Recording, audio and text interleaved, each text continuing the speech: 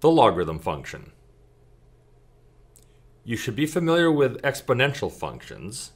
You should also be familiar with inverse functions and how the graph of the inverse function relates to the graph of the original function.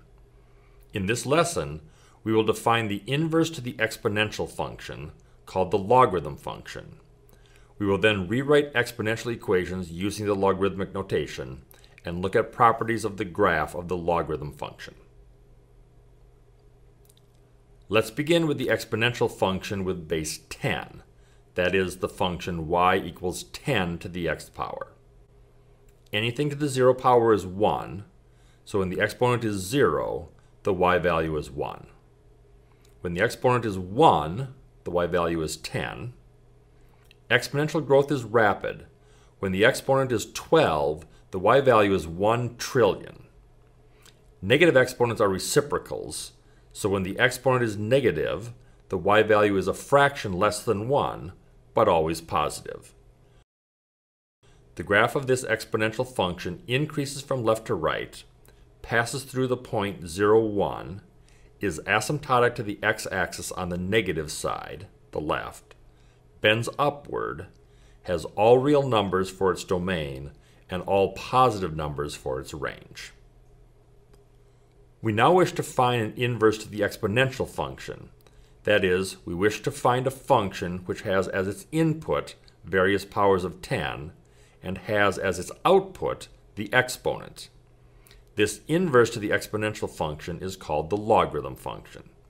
In this case, since the base of the exponential function was 10, we call this the base 10 logarithm. Recall that an inverse function reverses the roles of x and y. Thus, the inverse of the exponential function has y as the exponent. The notation for logarithms looks like this. We will often rewrite logarithmic equations as exponential equations. Remember that y, the log, is the exponent.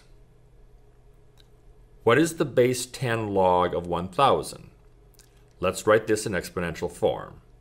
The log is the exponent, so y is the exponent. The base is 10.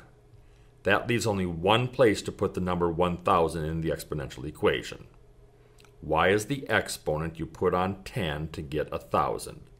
That exponent is 3.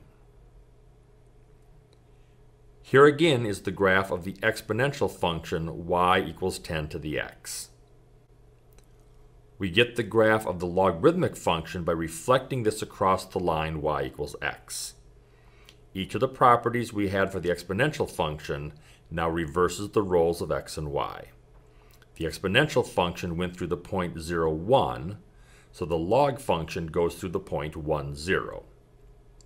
The exponential function approached the negative half of the x-axis from above, that is, from the positive side. The log graph approach the negative half of the y-axis from the positive side, that is, from the right. The domain of the exponential function is the range of the log function, and vice versa. The exponential graph bends sharply upward, the positive y direction, so the log graph bends sharply in the positive x direction, that is, to the right. Let's practice some logarithms with other bases rewriting them in exponential form.